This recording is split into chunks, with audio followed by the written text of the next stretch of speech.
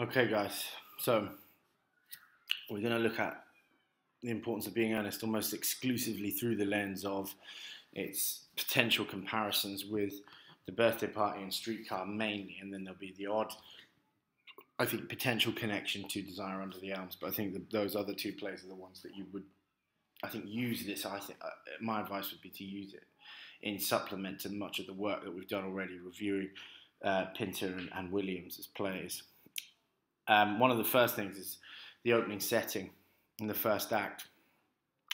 It's at, we're set in Algernon's flat and half Moon Street in London. The room is luxuriously and artistically furnished, and the sound of a piano is heard in the adjoining room. Now, you know, it's nowhere near as detailed and as lyrical as um, as Williams' scene setting, but there is, I think, an interesting contrast between the way that the protagonist is is absolutely at ease in these surroundings, and that the surroundings are deliberately aestheticized, and so that sense of aesthetic relish is comparable in both you know Blanche and Algernon, but also the extent to which they are at ease in those surroundings. You know, Algernon is, is entirely in command of his surroundings and has them aestheticized because of it. It, it fits fully with his reality and his sense of power, whereas Blanche is at odds with them because of her aestheticized uh, sense of reality. He interacts with Lane as butler. He says, I'm sorry that for that, for your sake, I don't play accurately. Anyone can play accurately, but I play with wonderful expression. As far as the piano is concerned, sentiment is my forte. I keep science for life. And I think this deliberate aestheticism, I think, connects with very clearly with Stanley Webber and his illusory nostalgia that he he is constantly um, repeating in the birthday party that sense of of anyone can play accurately and that I play with with wonderful expression. I wouldn't necessarily say that Stanley's nostalgia. You know, he's pl- he plays his nostalgia with expression and with a disregard for reality. Uh, whether or not he can actually enact that same sense of aesthetic creation in his supposed piano playing is another matter um, altogether. Further over, Lane and Algernon interact and say, um, talking about marriage, I believe it is a very pleasant state, sir. I've had very little experience of myself up to the present. I've only been married once. That was in consequence of a misunderstanding between myself and a young person. And Algernon says languidly, I don't know that I'm much interested in your family life, Lane. And then Lane says, No, sir, it's not a very interesting subject. I never think on it myself.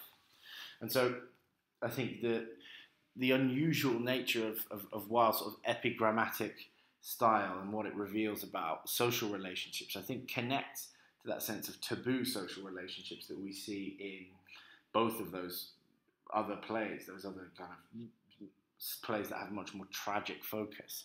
That, that Wilde, part of Wilde's critique of social conventions, um, is the, the unusual functioning of the family and romantic connections through the transaction of marriage, and they are mocked in a satirical way rather than um, blamed for the ails of um, characters suffering tragic fates, as in uh, the birthday party and streetcar. The social conventions here are are being undermined and subverted for that kind of satirical comic purpose, rather than to show that the way those social conventions actually dominate and subvert the integrity of individuals. Further down, Lane leaves, and Algernon says to himself, Lane's view on marriage seems somewhat lax, really. If the lower orders don't set as a good example, what on earth is the use of them? They seem, as a class, to have absolutely no sense of moral responsibility.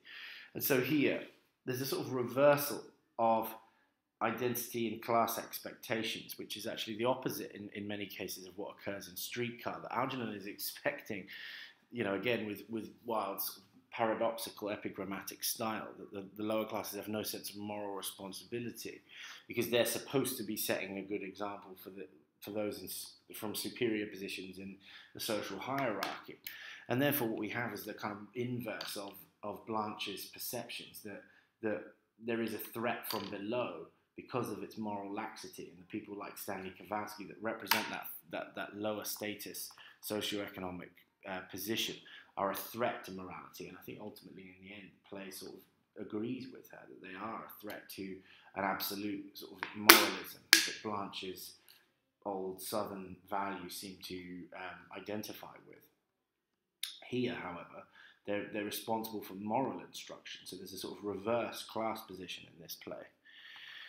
Um, Ernest Worthing is obviously at this point Jack, and Lane leaves. And then Algernon says, How are you, my dear Ernest? What brings you up to town? Oh, pleasure, pleasure.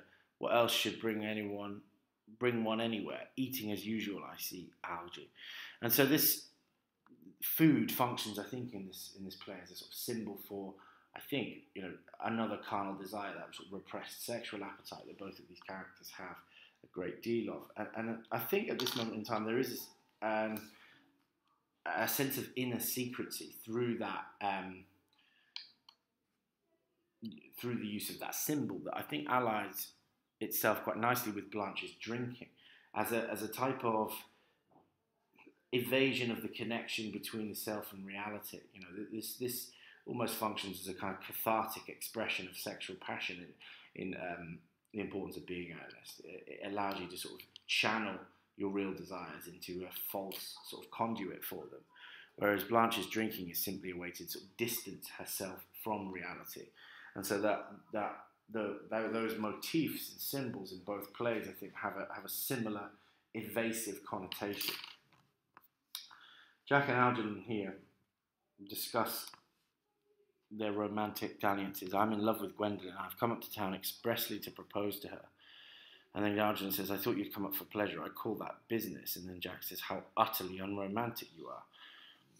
So there is a, I think, a cynical view of the of conventional relationships and their possible connection. I think again, um, we could compare with Meg and Petey in the birthday party. That sort of conventional marriage is, is, is based on alienation, and that Algernon here very clearly identifies marriage as a transaction.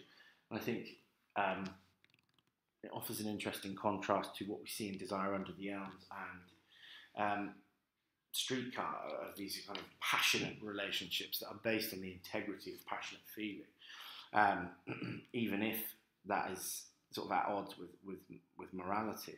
Here we've, we, we're seeing, and in the birthday party, um, romantic relationships sort of emptied of their passion and emotional um, significance. Algernon says, I really don't see anything romantic in proposing. It's very romantic to be in love, but there is nothing romantic about a definite proposal. Why? One may ex- be accepted. You, one usually is, I believe. Then the excitement is all over. The very essence of romance is uncertainty. If I ever get married, I'll certainly try to forget the fact. And so I think that sense of uncertainty offers us an interesting contrast with Blanche because it's precisely that state of romantic uncertainty that precipitates, in many ways, her sort of internal crisis. And so you know, through Algernon's aesthetic perspective, he sees the uncertainty of romance as its as it, as its definitive style and what makes it attractive. Whereas Blanche, even though she is one of these characters that is, that is wedded to an aestheticized view of reality, sees it as um, a threat to herself and to her integrity. They're talking further over the page uh, about court and divorce. Algernon says, Oh, there is no use in speculating on that subject. Divorces are made in heaven. Jack puts out his hand to take a sandwich, and Algernon at once interferes. Please don't touch the cucumber sandwiches. They are ordered specially for Aunt Augusta. Takes one and eats it. And so, again, that physical and sexual dominance uh, around the sandwiches is quite an important connection here, I think, with Stanley and Streetcar. You know, we see these things as a symbol of of, of sexuality. And I think the way that um, Algernon here sort of dominates Jack around this particular symbol suggests his sort of uh, sexual prowess or dominance over him.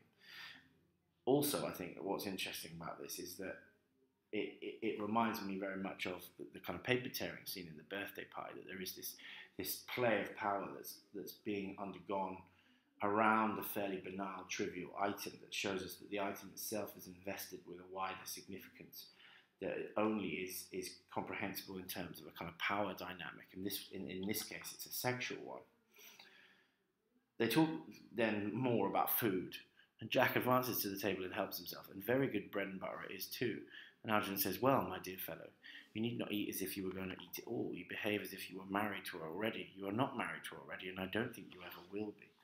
So here, I think there's an interesting com- connection, I think, uh, with Meg's cornflakes and food in general and its connection to sexuality. I think Meg's, Meg's cornflakes in Pinter's opening function as this very banal symbol, actually, of the uh, of the, the way rituals sort of bridge the distance between individuals and do so in a way that's fundamentally inauthentic but is ultimately all the characters appear to have. Whereas here, those the the, the engagements around the food, um, I think, seem to be the almost the, the register before it occurs of, of romantic authenticity. And so food and, and, and passion are connected in both of those plays. I also think, again, you know, that, that um, you know, here his sort of voracious appetite shows us that sort of voracious passion and his desire to construct a relationship of, of authenticity and intensity uh, to some extent. Whereas Blanche's drinking is a, is, a, is a strategy to evade authenticity and to evade reality. Now, later on, Lane comes in with a cigarette case on a salver and Algernon takes it at once. Lane then goes out. I think that is rather mean of you, Ernest, I must say. However, it makes no matter, for now that I look at the inscription side, I find that the thing isn't yours after all. Of course it's mine. They're talking about the cigarette case here. You've seen me with it a hundred times, and you have no right whatsoever to read what is written inside. It's a very ungentlemanly thing to read a private c- cigarette case. Now,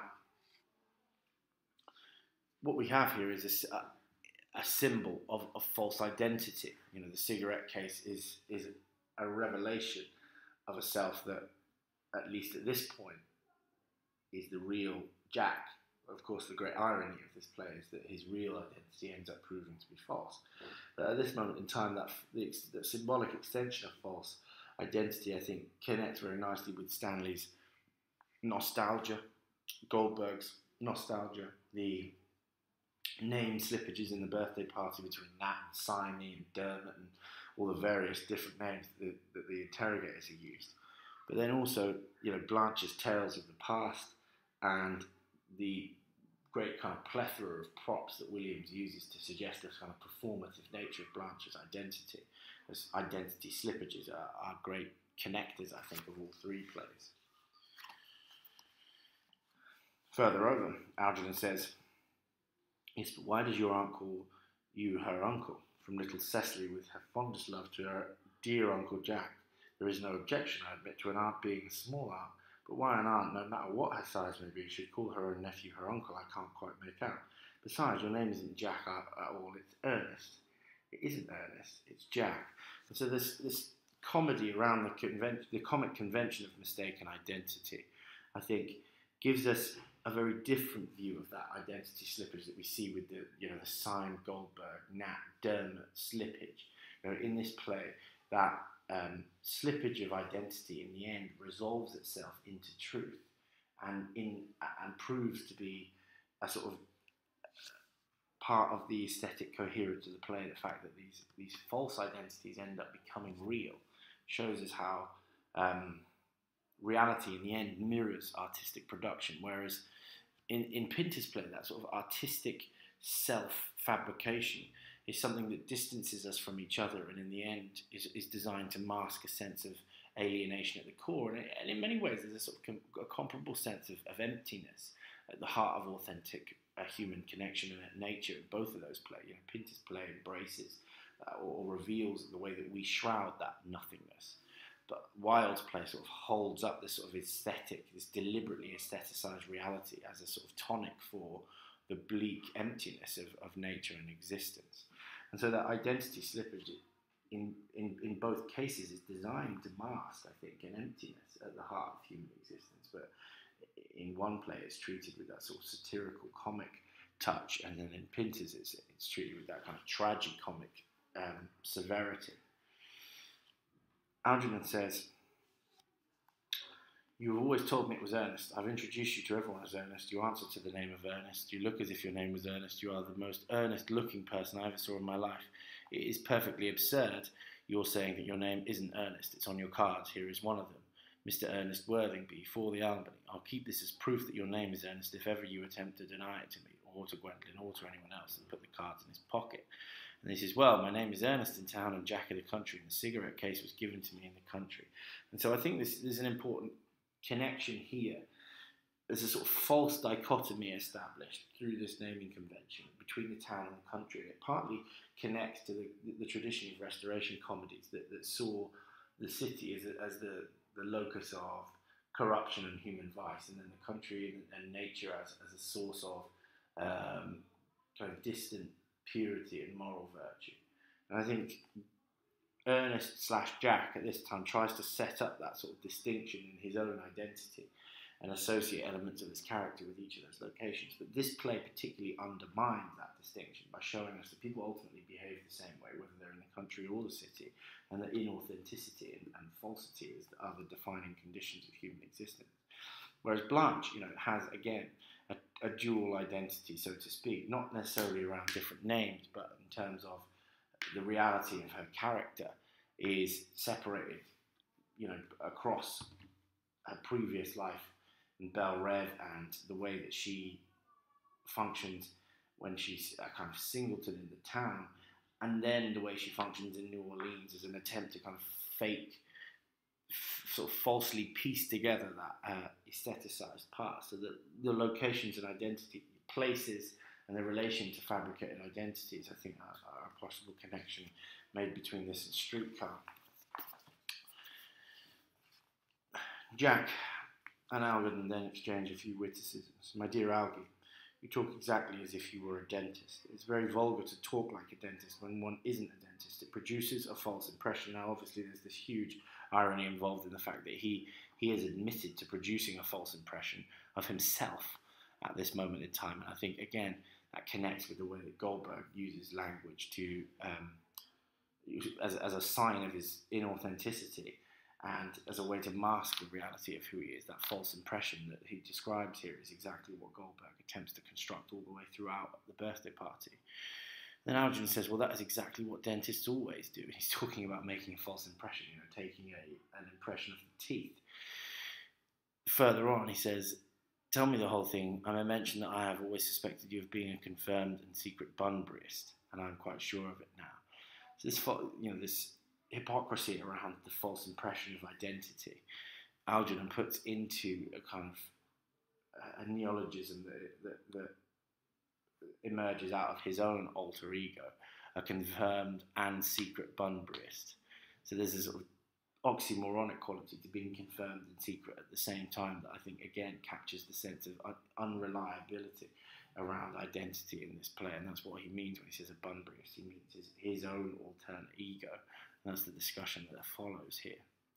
But of course, that that you could ultimately argue that that's what Blanche is. You know, Blanche is a Bunburyist of various sorts. You know, she she masquerades as if she is some form of you know old Southern belle with a, heightened sense of moralism and, and, chivalry, and in the end has acted in a way that is, is completely at odds with that. So she, in many ways, sort of Bunbury's particularly when we think of the, the, sexual connotations of this split of identity. You know, the Bunbury is Algernon's uh, alter ego that, that explores you know, the passions and the sexual dynamism that was unpermitted by Victorian society. He said, well, Algernon says, I'll reveal to you the meaning of that incomparable expression as soon as you are kind enough to inform me why you were Ernest in town and Jack in the country. Well, produce my cigarette case first. Here it is. Now produce your explanation and pray make it improbable. So there's this conflict here, I think, between the two characters that's centered around um, inauthenticity. You know, I will produce your cigarette case and you produce your explanation again that it's something false that needs to be um, improbable and farcical almost for it to be valuable to Algernon. He likes the obvious aestheticization of reality. But this is an interesting contrast, I think, with Goldberg and McCann's kind of toying around with the idea of sitting. The conflict between these characters is, is uh, channeled through the, the extent to which they can be believed or they can stylize reality, whereas Goldberg and McCann's stylization of reality is, is designed to mask the, the menacing sense of power hierarchy that's beneath the two of them, whereas this this masking of reality is the power hierarchy between Algernon and Jack. Whoever does it best is the one that comes out on top. Now,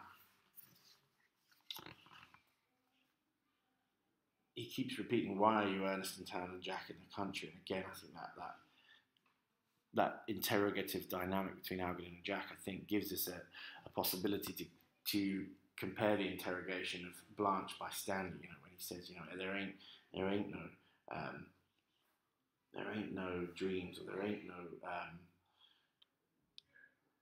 lies. He, he says it's all deceit and lies, and, and he, t- he confronts those stories that Blanche is so consistently telling us. Jack says, when one is placed in the position of guardian, one has to adopt a very high moral tone on all subjects. One's duty to do so, and as a high moral tone can hardly be said to conduce very much to either one's health or one's happiness, in order to get up to town, I have always pretended to have a younger brother of the name of Ernest.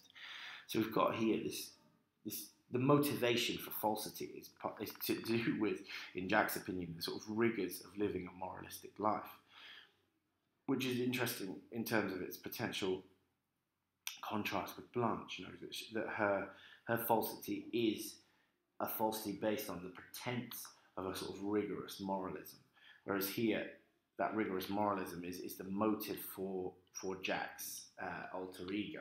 And I think there's a, there's a similar a similarity between the two there. That both of them are, are motivated by a false sense of moralism that requires an outlet for their more um, you know, the, the, the, parts of their nature, their, their, their, sexuality, their impulsiveness that is, is not often permitted by society. Algernon says, You invented a very useful younger brother called Ernest, in order that you may be able to come up to town as often as you like.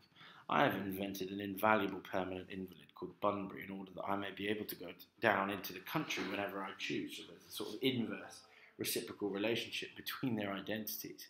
Bunbury is perfectly invaluable. If it wasn't for Bunbury's extraordinary bad health, for instance, I wouldn't be able to dine with you at Willis's tonight, for I have been really engaged to Augusta for more than one week. So again, both of them are guilty here of this type of falsification, which Blanche is particularly fond of. You know, these these sense of, of false commitments that that are actually taking advantage of society's kind of repressive codes and conventions.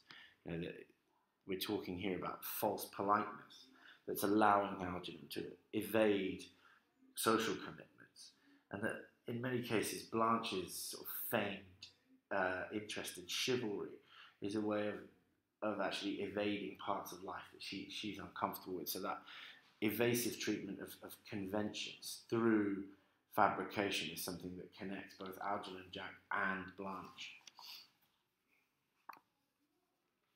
And to a certain extent, Stanley as well. You know, Stanley's stories and his evasive nostalgia is a way of, I think, affirming his his sort of aesthetic impulse and affirming his distance from social orthodoxy, the orthodoxy that's represented by Goldberg and McCann.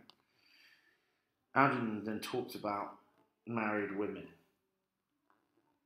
Says she will place me next to Miss Mary Farquhar. She's talking about. He's talking about having to go to dinner with his aunt Augusta, who always flirts with her own husband across the dinner table.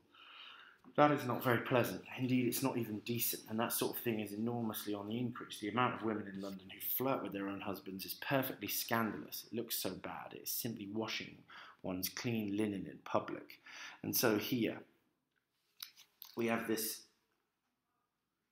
I think, paradoxical epigram that reverses social orthodoxy and, and, and values a taboo social relationship again. So taboo, taboo social relationships in, in all three plays are important. You know, I think this compares interestingly with Stanley's sort of violation of social norms and his physical and aggressive violation of Blanche.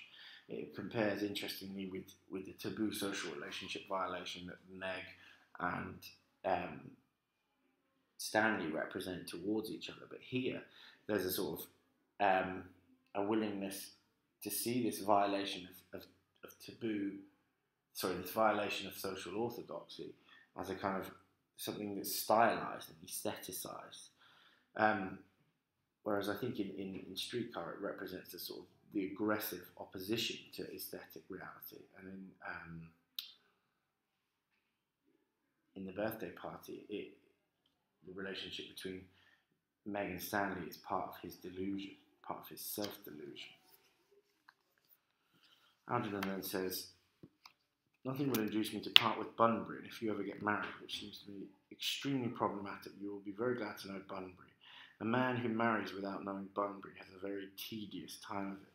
And so, again, there's a sense of relationships being flexible and inauthentic through Algernon's insistence upon the need for an evasive alter ego that allows you to evade the reality of the situation that you find yourself in when you are married.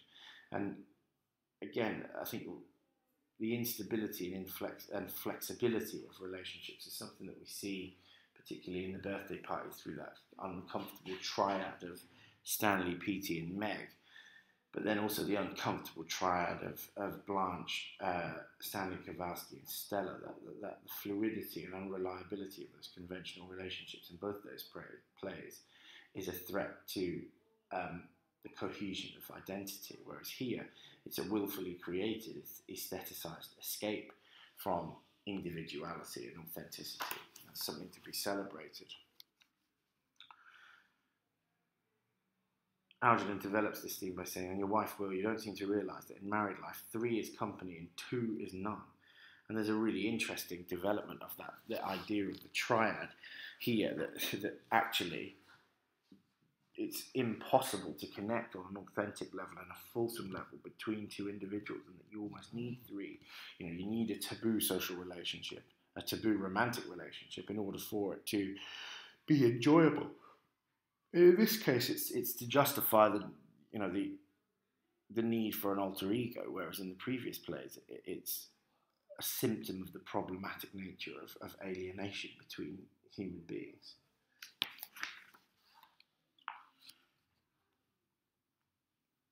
They converse furthermore about um, marriage. My dear fellow, it isn't easy to be anything nowadays. There's such a lot of beastly competition about. The sound of an electric bell is, ah, that must be Aunt Augusta. Only relatives or creditors ever ring in that Wagnerian manner.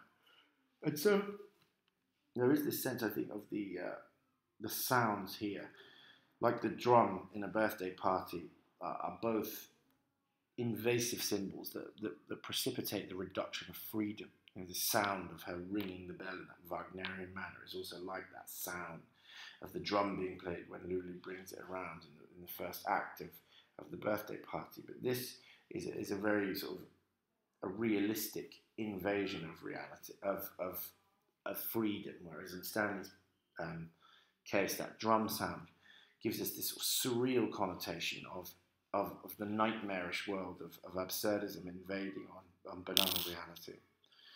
And then they talk about food. May I dine with you tonight at Willis's? Algernon asks. And Jack says, I suppose if you want to. He says, Yes, but you must be serious about it. I hate people who are not serious about meals. It's so shallow of them. And so this epigram, I think, exposes superficiality I think invites a connection with Goldberg, that people who are not serious about meals are shallow. And, the, and it, it, it's paradoxical because we don't expect necessarily this, this particular topic in the fashion of many of the things that Algernon has a deep sense of conviction. We don't expect this topic to inspire that sense of severity and seriousness, and yet here. He's, he's perfectly capable of talking seriously about food, but he can't talk seriously about marriage, for example. And so that reverse of of the areas of life in which sort of integrity and authenticity needs to be channeled, I think, is deliberately reversed in Algernon's aestheticism. It's an interesting contrast to um, Goldberg and McCann, who who talk as if many many things deserve seriousness and yet show no real signs of authentic connection to any of them they have this abstract sense of orthodoxy that they're committed to, and yet have no real understanding of, of what it constitutes other than when someone does something that interferes with it. So that sense of um, trying in some way to reverse the, the aspects of life that, that require seriousness and require uh, commitment in Wilde is focused on this kind of comic inversion, whereas in Pinter's play, it, it's centered on um, a kind of inaccurate and generic sense of orthodoxy. Algernon goes forward to meet um, Lady Bracknell and Miss Fairfax, Gwendolen.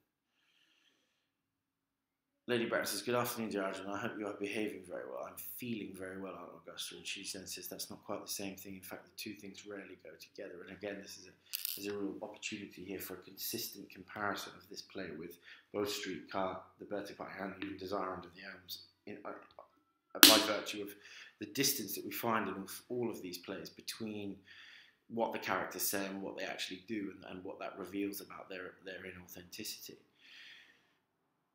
Lady Bracknell then says she sees Jack and bows to him with icy coldness, and I think that class hostility towards him ends up being an awful lot like Blanche's class hostility towards Stanley.